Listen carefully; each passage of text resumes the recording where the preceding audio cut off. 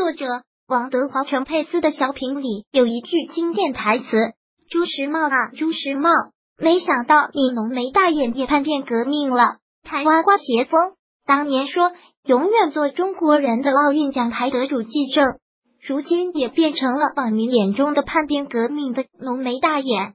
季正于一九四四年生于台湾新竹，祖籍为福建晋江，是世界著名短跑运动员。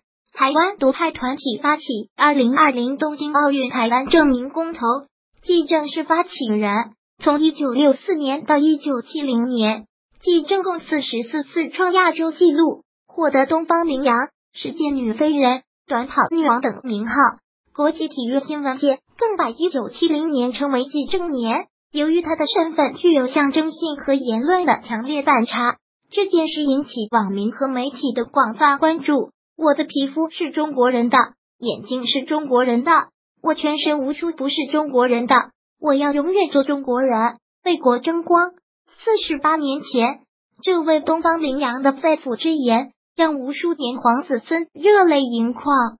曾经的永远的中国人摇身一变，如今成了台独的领头人。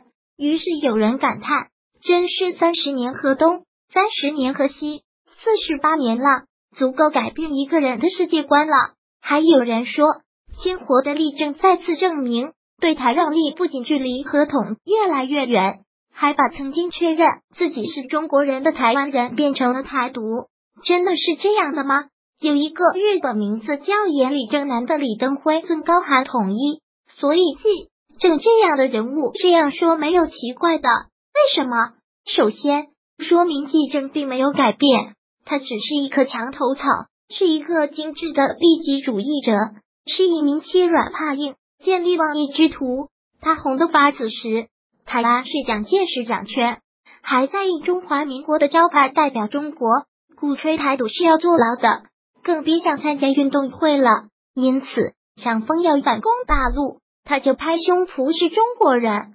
如今，台湾是死硬的台独分子蔡英文掌权。他当然要为其台独路线捧场，这说明永远不要相信那些喊口号最响亮的人，这些人最靠不住，是看政治风向的变色龙而已。考验来了，立马转变。其次，季正以前的确说自己是中国人，但他是指两江时代中华民国政权下的中国人，不是指国际上承认的代表全中国的中华人民共和国。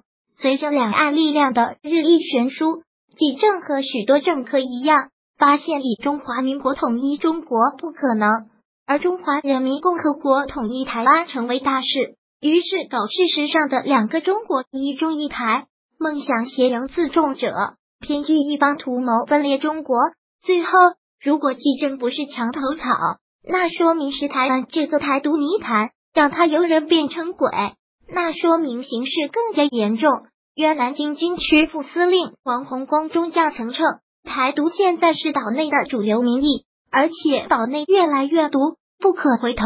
十年前，百分之五十五的台湾人不承认自己是中国人；十年之后，二零一六年有百分之七十五的人不承认自己是中国人。再过一代，全岛没有谁再承认自己是中国人。现在能够遏制台独趋势的唯一力量就是大陆，台独还能猖狂多久？关键取决于大陆的决心。统一是事关中华民族千秋大业的正义事业，放弃幻想，准备武统。我们坚信五星红旗一定会在全台湾高高飘扬，这是历史大事，谁也无法阻挡。只是曾经的东方羚羊记政，本可以名垂青史。这晚节不保，遗臭万年。当无头台湾之时，纪政跑得再快，也逃不了历史和人民的惩罚。